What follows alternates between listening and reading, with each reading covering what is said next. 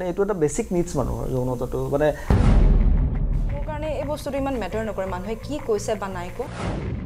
এই ছবিখন মই যদি আজি ইৰাণত কৰিলোহেঁতেন মই ভাবিছোঁ চাগে মই গৃহবন্দী হ'লোহেঁতেন নহয় মই ফাঁচি হ'লোহেঁতেন।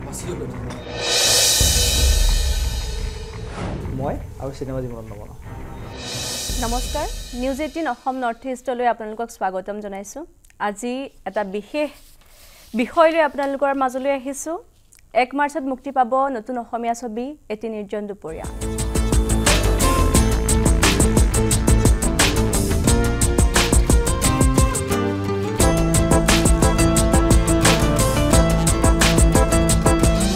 এটি নিৰ্জন দুপৰীয়া নামতেই যেন সকলো আছে।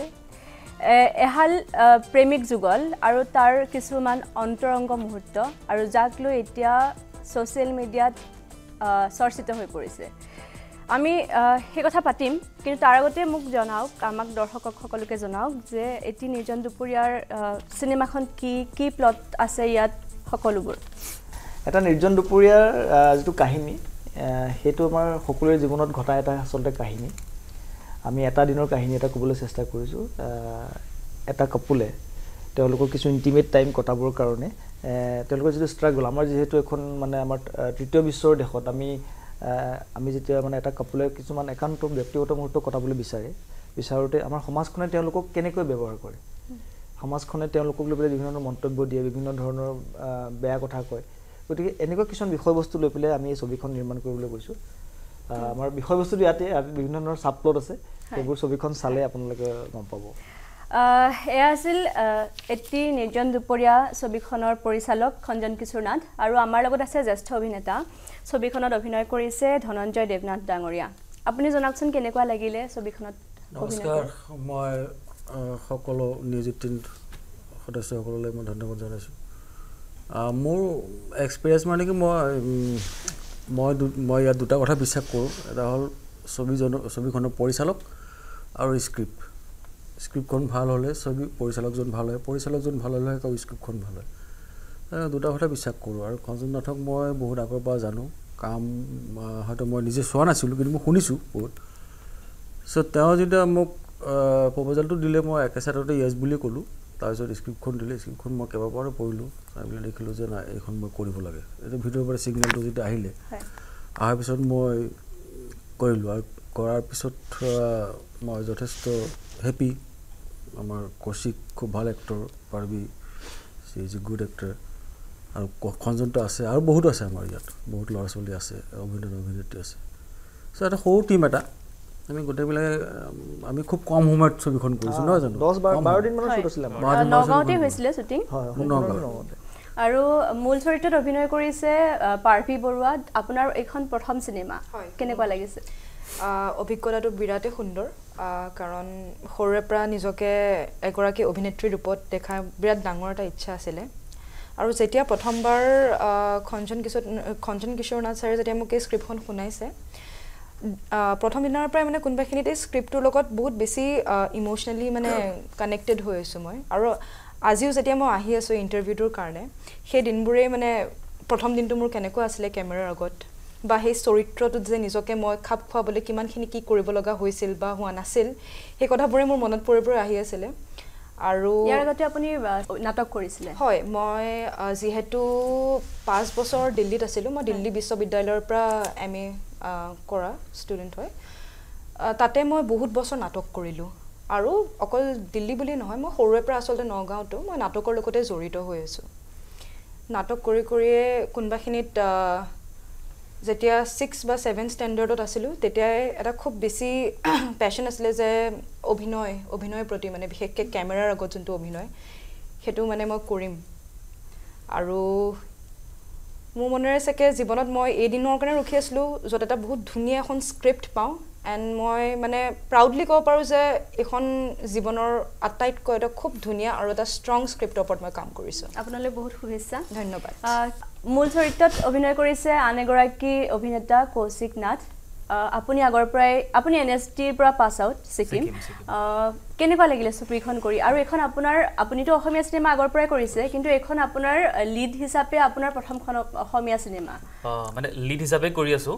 কিন্তু মানে কেৱল এটা লিড হিচাপে মই এখন প্ৰথম ফিল্ম অঁ অঁ কেনেকুৱা লাগিলে কওকচোন?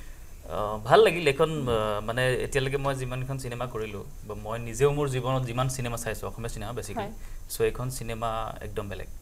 এইখন চিনেমাৰ মেকিংটো বেলেগ এইখন চিনেমাৰ গোটেই ডাইৰেকশ্যনৰ পাৰ্চপেক্টিভটো বহুত বেছি বেলেগ এক্টিং চেপ্টাৰটো বহুত বেলেগকৈ তেখেতে আমাক গাইড কৰিছে ডাইৰেক্টৰজনে চ' এইখন চিনেমা বহুত বেলেগ আৰু কিয় মই বাৰে বাৰে বেলেগ বুলি কৈছোঁ চিনেমাখন একচুৱেলি চালে গম পাব। বহুত কণ্ট্ৰভাৰ্চিৰ মাজত সোমাই পৰিছে চিনেমাখন। তেওঁলোকৰ যৌন অন্তৰংগ মুহূৰ্ত অলপ আছে আৰু অলপ ইণ্টিমেট চিন থকাৰ বাবে বহুতে সমালোচনা কৰিছে। এই ক্ষেত্ৰত আপুনি কেনেকৈ লৈছে এই সমালোচনাবিলাক? মানে আচলতে ইনফৰ্মেলি ক'বলৈ গ'লে কি হয় আমাৰ সমাজখনৰ আচলতে বহুত বহুত আগবাঢ়ি গ'ল। কাৰণ আমি এতিয়া একবিংশ শতিকাত আছোঁ ন। গতিকে আৰু যৌনতাটো লৈ পেলাই আমি বহুত মানে পজিটিভ হৈ থকাৰ এই মুহূৰ্তত আমাৰ আচলতে কোনো দৰকাৰ নাই বুলি ভাবোঁ। কাৰণ মানে এইটো এটা বেছিক নিডছ মানুহৰ যৌনতাটো মানে জীৱ জন্তুৰেই হওক মানুহৰ এইটো বেছিক নিডছ এটা। গতিকে এই বেছিক নিডছটো লৈ পেলাই যদি কোনোবাই কিবা সৃষ্টি কৰে ছবি এখন বনায় বা কবিতা এটা লিখে বা গল্প এটা লিখে ত' তাক লৈ পেলাই মানুহে ইছ ৰাম এইটো ইমান বেয়া কাম কৰিছে এইটো ইমান হেৰি কৰিছে। এনেকৈ মই নাভাবোঁ সেইটো কৰিব এনেকুৱা। বহুত মানুহ আছে অসমৰ একাংশ লোকে আপোনালোকক বহুত ছাপোৰ্ট কৰিছে। কিন্তু একাংশ লোকে কিন্তু ইয়াৰ বিৰোধিতা কৰিছে কিন্তু এনেকুৱা এটা পৰিস্থিতি উদ্ভৱ হ'ব বুলি আপুনি আগৰ পৰা জানিছিল নে আৰু যদি এনেকুৱা এটা ৰাস্তা নাছিল নেকি এটা আৰ্টি আৰ্টিষ্টিক ৱে নাছিল নেকি যে এনেকুৱা অন্তৰংগ মুহূৰ্তবোৰ অলপ বেলেগ ধৰণে দেখুৱাব পৰাকৈ আহ, তাৰ উত্তৰটো মই ছবিখনতহে দিব খোজোঁ। আচলতে ছবিখনৰ আমি যিটো ট্ৰেইলাৰ ৰিলিজ কৰিছোঁ সেই ট্ৰেইলাৰটো চাই পেলাই যদি কোনোবাই ভাবিছে যে এই ছবিখনত মানে তেনেকুৱা ধৰণৰ বেয়া দৃশ্য আছে মই ভাবোঁ এই তেনেহ'লে কথাটো হ'ব আপুনি নগৈ গড়গাঁৱৰ বাতৰি দিয়াৰ দৰে কথা। গতিকে আপুনি যদি মানে প্ৰকৃত অৰ্থ মানে সত্যটো জানিবলৈ বিচাৰে তেনেহ'লে আপুনি হললৈ আহক এক তাৰিখে আহি পেলাই চিনেমাখন চাওক। তাৰপিছত যদি আপুনি ভাবে যে এইখন এখন বেয়া চিনেমা তেতিয়াহ'লে মই আৰু চিনেমা জীৱনত নবনাওঁ। যদি স্ক্ৰিপ্টে ডিমাণ্ড কৰে তেনেহ'লে আমি তেনেকুৱা ধৰণৰ দৃশ্য দিব লাগিব। কিন্তু যদি স্ক্ৰিপ্টে ডিমাণ্ড নকৰাকৈ কেৱল মানে ব্যৱসায়িক দৃষ্টিভংগীৰে মই ছবিখনত নাই মই যৌনতাটো দিম মই অমুক কণ্ট্ৰভাৰ্চিয়েল বস্তু সুধি পাইছোঁ। কিছুমানে অভিযোগ উত্থাপন কৰে যে বহু সময়ত চিত্ৰ নিৰ্মাতাসকলে ব্যৱসায়িক উদ্দেশ্য প্ৰণোদিতভাৱে কিছুমান দৃশ্য সংযোজন কৰে যাৰ কাৰণে চিনেমাখন মানদণ্ডও কিছু নিম্নগামী হয় আৰু এটা বেয়া এটা চাপ পৰে ন মানুহৰ সেই অভিযোগটো কিছু কিছু সত্য একেবাৰে অসত্য নহয়। কাৰণ আমাৰ যিটো ফিল্ম ফেটাৰ্নিটি আছে সেই ফিল্ম ফেটাৰ্নিটিতে এনেকুৱা চলচ্চিত্ৰ নিৰ্মাতা আছে বা যাক মানে যোনে মানে ছবিৰ যৌনতাৰ জৰিয়তে ছবি বেচিবলৈ বিচাৰে চিনেমা বেচিবলৈ বিচাৰে। তেওঁলোকে ভাবে যে মানে যৌনতা বেচাৰ বস্তু ছেক্স চেলছ তেওঁলোকে সেইটো ভাবে। আৰু তেনেকুৱা ধৰণৰ ছবি নিৰ্মাণো হৈ আছে। কিন্তু আপুনি যৌনতাটো মই আগতে কৈছোঁ এইটো বেয়া বস্তু নহয়। আপুনি যেতিয়া যদি তাক কলাসুলভভাৱে আপুনি দেখুৱাবলৈ পাৰে তেনেহ'লে মই ভাবোঁ মানে আপোনাৰ সেই কলাটো এটা কলতূৰ্ণ মানে যিটো মানে। এটা ভাল এটা পৰ্যায়লৈ যাবগৈ। তেনেকুৱা দেধাৰ উদাহৰণ আছে। আপোনাৰ মখমল বফে এখন চিনেমা বনাইছে চিনেমাখনৰ নাম হৈছে ছেক্স এণ্ড ফিলচফি। যিখন চিনেমাখনত এটা ছেক্সৰ চিনো নাই নামটো ছেক্স এণ্ড ফিলচফি। কিন্তু আমাৰ ইণ্ডিয়াত যেতিয়া চিনেমাখন আহিলে মানুহে হিলদল ভাঙি চাবলৈ গৈছে একমাত্ৰ নামটোৰ কাৰণে। পাৰভি এইখন আপোনাৰ প্ৰথম ছবি আৰু প্ৰথম ছবিখনতে আপুনি কণ্ট্ৰভাৰ্চিত সোমাই পৰিছে। কেনেকৈ আপুনি টেকল কৰিছে? সৰুৰে পৰা মোৰ মা দেউতাই মোক এটা কথাই শিকাইছে। যে জীৱনত যি কৰা ভালকৈ কৰা সেইটোৰ লগত এটা অনেষ্টি মেইনটেইন কৰি চলা আৰু নিজৰ সপোনৰ কাৰণে কাম কৰি যোৱা আজি এইটো জীৱনত মোৰ প্ৰথমবাৰ নহয় যে মই আজি কণ্ট্ৰভাৰ্চি এটাত পৰি পেলাই বহুতে কিবা কৈছে বা নাই কোৱা সেইটো মই সন্মুখীন কৰিব লগা হৈছে। মই যেতিয়াৰ পৰাই কোনোবাখিনিত মোৰ লগৰবোৰকো স্কুলতো যেতিয়া কৈছোঁ যে মই অভিনেত্ৰী মই এগৰাকী মানে ফিল্ম এক্ট্ৰেছ হ'ব বিচাৰোঁ তেওঁলোকে প্ৰথম ৰিয়েকশ্যনটো এনেকুৱা পাৰিবি জানো তই? এই সৰু সৰু কিছুমান মুহূৰ্তবোৰ মই সৰু মানে আগৰ পৰা বহুত সন্মুখীন হৈ আহিছোঁ। সেইকাৰণে মোৰ কাৰণে এই বস্তুটো ইমান বেছি এটা ডাঙৰ এটা বিষয়বস্তু হৈ পৰা নাই মোৰ জীৱনত। কাৰণ মই এটা কথাই জানো যি কৰিম জীৱনত ভাল কাম কৰিম। আৰু মই জানো মই সেই কামটোত কিমান বেছি ডেডিকেশ্যন দি কৰিছোঁ। সেইকাৰণে মই এটাই কথা জানো মই যোনখন মানে ফিল্ম কৰিছোঁ বা যোনটো চৰিত্ৰ কৰিছোঁ সেইটো চৰিত্ৰ দি মই এখন নাৰী সমাজক ৰিপ্ৰেজেণ্ট কৰিছোঁ। আৰু আপোনাৰ মনলৈ এনেকুৱা ধৰণৰ প্ৰশ্ন অহা নাইনে যে প্ৰথম চিনেমাখনতে ইমান বিতৰ্কত সোমাই পৰিছে? আপোনাৰ ভৱিষ্যতে আপোনাৰ কেৰিয়াৰৰ কথা আপোনাৰ মানুহে কি ভাবিব? এনেকুৱা ধৰণৰ প্ৰশ্ন আপোনাৰ মনত কেতিয়াও উদয় হোৱা নাইনে এতিয়া মই একজেক্টলি পাহৰিছোঁ। এইটো কোনে কৈছিলে একজেক্ট কোডটো বাট কৈছিলে যে any sort of controversy is a good controversy সেইটো বুলি মই জানো। যেনেকৈ মই আপোনাক আগতেও কৈছোঁ যে মোৰ কাৰণে এই বস্তুটো ইমান মেটাৰ নকৰে। মানুহে কি কৈছে বা নাই কোৱা মই নিজে জানো মই কি কাম কৰি আছোঁ। আৰু কোনোবাখিনিত সেই বস্তুটো যে নিজৰ ওপৰত যে মোৰ এটা আত্মবিশ্বাস আছে সেইকাৰণে চাগে আজি মই ভগৱানৰ কৃপাত দুটাকৈ বঁটা লাভ কৰিবলৈ সন্মান মানে হয় মানে কেপেবল হৈছোঁ। চ' ইমানখিনি আশা কৰোঁ মই এগৰাকী মাত্ৰ আৰ্টিষ্ট হয় প্ৰথমবাৰ আহিছোঁ। মোৰ কাম হৈছে অভিনয় কৰা। এটা চৰিত্ৰ ৰূপায়ণ কৰা তাক এটা জীৱন্ত চৰিত্ৰ হিচাপে ৰিপ্ৰেজেণ্ট কৰা কেমেৰাৰ আগত। আমি সকলোকে সুধিলোৱে প্ৰতিক্ৰিয়া কৌশিক আপুনিও কৈ দিয়ক কেনেকুৱা কণ্ট্ৰভাৰ্চিটোক আপুনি কেনেকৈ চাইছে? কণ্ট্ৰভাৰ্চি হ'ব লাগে। অসমখন সৰু অসমীয়াত অসমৰ চিনেমাৰ অডিয়েঞ্চ কম। কণ্ট্ৰভাৰ্চি হ'লে মানুহে গম পাব "অ, কিবা এটা হৈছে। ভাল বেয়াটো পিছত আহিব নিজে চাই সেইটো গম পাব ভাল হৈছে নে বেয়া হৈছে। চ' কণ্ট্ৰভাৰ্চিটো লাগে মোৰ মতে অসমত বেচিকেলি কাৰণ মানুহবিলাক খুব মানে এৱাৰ হৈ নাথাকে ফিল্ম এখন আহিছে বুলি। যেনেকৈ বাহিৰত যেনেকৈ হিলটোত ভাঙি যায়। আমাৰ অসমৰ অডিয়েঞ্চেই কম ন? হ'লেও খুব কম। হয় অভিনেতা হিচাপে আপোনালোক দুয়োগৰাকীয়ে যেতিয়া চিনটো কৰিছিলে তেতিয়া কিবা প্ৰত্যাহ্বান আহিছিলে নে যে অকণমান শংকা কিবা এনেকুৱা? অঁ ডেফিনেটলি আহিছে। আমাৰ একচুৱেলি গোটেই প্ৰিপেৰেশ্যনটো বহুত দীঘলীয়া আছিল। আমি মেণ্টেলি বা গোটেই আমি প্ৰচেছটোত ডাইৰেক্টৰে আমাক ভালকৈ গাইড কৰিছিল আৰু সেইমতে আমি গৈছিলোঁ। তেওঁ কিছুমান ৱে দেখাইছিলে আমাক সেইমতে আমি কিছুমান ফ'ল' কৰি গৈছিলোঁ। ষ্টিল এই যিটো লাভ মেকিং বা ইণ্টিমেচি যিটো আমি কৈ আছোঁ সেই শব্দটো সেই সেই যিটো চিন আছিল একচুৱেলি এটা ল'ৰাই এজনী ছোৱালীক মৰম কৰি দিয়া অকণমান কাইণ্ড অফ মানে এনেকুৱা যিটো আছিল। চ' সেই যিটো আছিল সেইখিনিত আমি অকণমান শ্বটটো দিওঁতে ডেফিনেটলি আমাৰ হৈছিল। প্ৰথম শ্বটটোত আমি ৰৈ গৈছিলোঁ বা অকণমান গেপ মানে ব্ৰেক ল'ব লগা হৈছিল আমাৰ। তেনেকুৱা এটা হৈছিল চিটুৱেশ্যন আপোনাক সুধিব বিচাৰিছোঁ ধনঞ্জয় ডাঙৰীয়া। আপুনি এগৰাকী জ্যেষ্ঠ অভিনেতা। আৰু এনেকুৱা এখন চিনেমা কৰাৰ আগত আপোনাক হয়তো জনাইছিলে স্ক্ৰিপ্টটো সকলোৱে হয়তো গম পায়েই আগতীয়াকৈ। আপোনাৰ মনলৈ কোনো শংকা অহা নাই আপুনি ইমানখিনি চিনেমা কৰিছে আগতে ত্ৰিছখনৰ ওপৰ কৰিছে হয়তো নহয়। এই চিনেমাখন কৰোঁতে আপোনাৰ মনলৈ কোনো প্ৰশ্ন অহা নাছিল আপুনি ধুনীয়াকৈ আঁকোৱালি লৈছিলনে? প্ৰশ্ন আহিছিলে মই ক'লোঁ অকণমান যে মই দুটা বস্তু বিশ্বাস কৰোঁ এটা হ'ল ডাইৰেক্টৰ এটা হ'ল স্ক্ৰিপ্ট ডিৰেক্টৰজনে স্ক্ৰিপ্টখন কিয় লিখিব? আৰু যিটো লৈ কথা চলি আছে এতিয়া কণ্ট্ৰভাৰ্চি কণ্ট্ৰভাৰ্চি কণ্ট্ৰভাৰ্চি বুলি ছবি এখনত কোনো কণ্ট্ৰভাৰ্চি বুলি শব্দ থাকিবই নালাগে একচুৱেলি যিটো জাষ্টিফাই যিটো ডিমাণ্ড কৰে ষ্টৰী যিটো ডিমাণ্ড কৰে ষ্টৰী এণ্ড এম্বিয়েঞ্চ পৰিৱেশটোৱে যিটো ডিমাণ্ড কৰে। সেইটো মুহূৰ্তত। সেইটো এহাল প্ৰেমিক প্ৰেমিকাই মানে ইয়াতকৈ কিমান পৰ্যায়লৈকে যাব পাৰে? মানে সেই মুহূৰ্তত। সেইটো ডিমাণ্ড কৰে এম্বিয়েঞ্চ পৰিৱেশত তেওঁলোকৰ মানে ইণ্টেণ্ট তেওঁলোকৰ মানে কি কয় এইটো নিড ইয়াৰ ওপৰত ডিপেণ্ড কৰে। চ' ষ্টৰিটোৱে ডিমাণ্ড কৰিছে কাৰণেহে এনেকুৱা এটা চিন ৰখা গৈছে। এইটো মানে ইণ্টেনশ্যনলি ৰখা যোৱা নাই। আননেচেচাৰী নহয়। আৰু ইয়াত ইমান ধুনীয়াকৈ মানে মানে আৰ্টিষ্টিকলি কৰা গৈছে যে আৰু মোৰ বিশ্বাস আছিল খনজনৰ প্ৰতি বা এওঁলোকৰ প্ৰতি দুইজনৰ প্ৰতি। এওঁলোকে লিটিল বিট নাৰ্ভাছ হৈছিলে সেইটো মই দেখিছোঁ পাৰ্বি এনেকৈ আছে মই অবজাৰ্ভ কৰি আছিলোঁ ইয়াকো খুব নাৰ্ভাছ হোৱা দেখিছোঁ। পাৰ্বি কাৰোবাৰ হাত যদি ধৰে ধৰি বুলি এনেকৈ ধৰি থাকে মানে এৰি দিব নালাগে বুলি এনেকুৱা। মই সেই সেইবিলাক অবজাৰ্ভ কৰিছোঁ এটা সময়ত। মই ভাবিছিলোঁ যে খনজনৰ প্ৰতি মোক দুখে লাগিছিলে যে ছবিখন শেষ কৰিব পাৰিব নাই? এনেকুৱা এটা পৰিস্থিতি আহি গৈছিল ন? পাৰ্বি হ'ল she is a totally new in this movie movie line so' এওঁ কথা জানো is a train actor so' সেইটো তাক বিশ্বাস নাছিলে মই তাৰ প্ৰতি তথাপিও he was also' nervous that time মানে। চ' মই মোৰ পচন্দখিনি মই কৰি বুলি কৰিছোঁ বাৰু অনেষ্টলি কিন্তু এওঁলোকৰ কাৰণে মোৰ চিন্তা হৈছিলে যে ছবিখন কমপ্লিট হ'ব নে নাই খনজন বেচাৰে ইমান কষ্ট কৰিব আৰু মোৰ মোৰ নিচিনা মানুহে মানে মই এজ এ অডিয়েঞ্চ যদি মই ছবিখন চাওঁ। তেনেহ'লে মই এটা এৱাৰ্ড দি দিব পাৰোঁ এওঁলোকক। হয় না? যে এনেই এৱাৰ্ড নিদিয়ে। চিনেমাখন চোৱাৰ পিছত যদি কিবা কণ্ট্ৰভাৰ্চি হয় তেতিয়া আমাক ক'ব লগা থাকে বহুত। সিহঁতৰ চিনেমা নকৰোঁ বুলি ক'লে। কণ্ট্ৰভাৰ্চি ইন দ্য চেন্স চৰ্চাটো হ'ব লাগে চৰ্চাটো সেইটোৱে হ'ব লাগে। একজেক্ট এক নম্বৰ কথা হ'ল এইখন কমাৰ্চিয়েল ছবি নহয় এইটো। হয়। যে আমি বিক্ৰী কৰিবৰ কাৰণে ইণ্টেনশ্যনেলি সেই চিনটো ৰাখিছোঁ। মুঠতে এই ছবিখন ওঠৰ বছৰৰ ওপৰৰ লোকেহে চাব পাৰিব।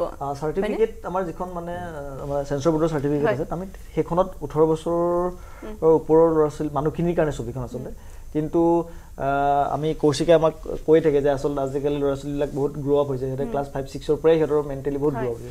এটা প্ৰশ্ন সুধিব বিচাৰিছোঁ এগৰাকী ইণ্ডিপেণ্ডেণ্ট ফিল্ম মেকাৰ হিচাপে আমাৰ অসমীয়া ইণ্ডাষ্ট্ৰীত কিমান প্ৰত্যাহ্বান আছে? আপুনি চিনেমাখন কৰোঁতে কি কি প্ৰত্যাহ্বানৰ সন্মুখীন হৈছিল?